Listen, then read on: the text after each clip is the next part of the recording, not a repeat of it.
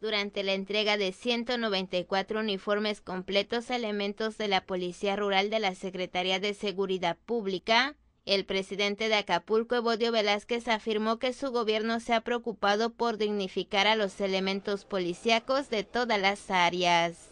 En las instalaciones de la Secretaría de Seguridad Pública reconoció la labor que a diario realizan los elementos de las diferentes corporaciones del municipio para así brindar seguridad y bienestar a la población. En su mensaje, Bodio Velázquez dijo que en la presente administración se les entregan uniformes de calidad, botas de calidad, un uniforme impermeable para los momentos de lluvia, pero sobre todo se les capacita y se les certifica.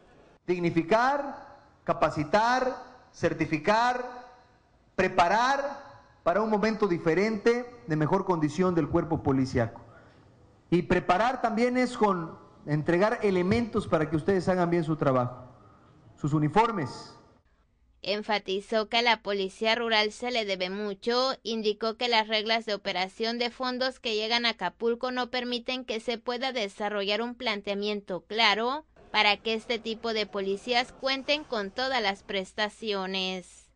Asimismo dijo que será gestor para que el gobierno estatal y federal, así como el Consejo Nacional de Seguridad Pública, sensibilicen las reglas de operación, además de presentar ante las autoridades los resultados de la Policía Rural.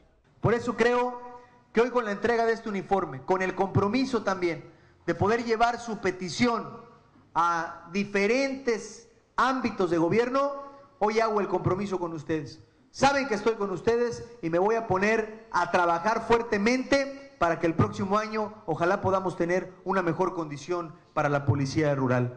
Finalmente, el alcalde convocó a los elementos a dirigirse ante los ciudadanos con honestidad, transparencia y honradez. Y quiero decirles que el año pasado les entregamos uniformes y también les entregamos un bono. Hoy quiero anunciar que de la misma forma como el año pasado, también les vamos a entregar un bono para que ustedes puedan tener en, esta, en estas fechas de sembrina que vienen y que se aproximan desde el próximo mes, tengan la condición de tener este bono y ocuparlo para tener unas bonitas fiestas. Noticieros Televisa, Olivia Redondo.